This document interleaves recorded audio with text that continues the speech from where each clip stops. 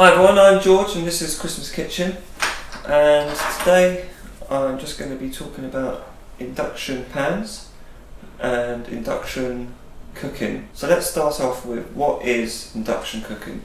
Induction cooking is a type of electric hob and the main difference is the hob itself remains cool and the pan is the thing that heats up. So with a gas cooker or an electric hob or ceramic hob, what happens is the flame is the heat source and the flame heats up the pan. Or there's a small there's a, a ring an electric ring and that heats up and the heat transfers into the pan. With an induction hob like this one here there's a magnet in the hob and it switches off and on really quickly. And it doing and, and in doing so it heats up the pan. And without getting too technical what it's doing is it's pushing a current an electrical current around the pan and it's the resistance of the current against the pan which is heating it up. So that's why if I turn this panel. Uh, okay, you can hear it's on. We'll just let's put it on to just manual. Okay, it's fine. Oh, no, wait. I put it on. You see, it's fine. It Doesn't do anything. But when I put a pan on, it's warming up quite quickly actually it, the pan will begin to heat up. Ooh, that's pretty good.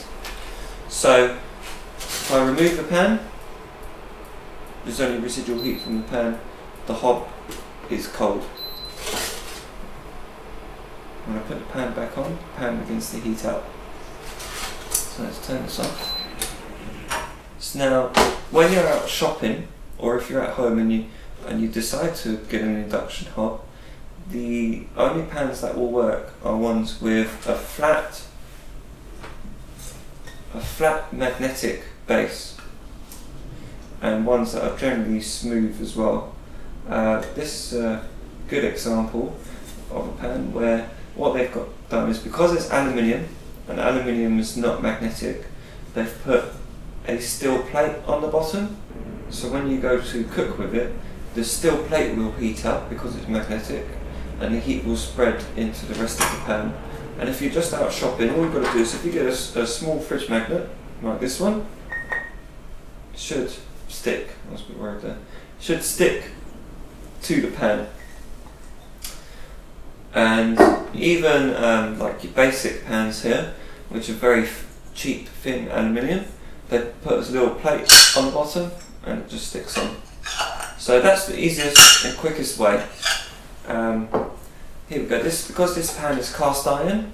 They don't put the um, uh, steel plate on the bottom because they don't need to. And if I get a small, if I got my magnet here, you see it just sticks on.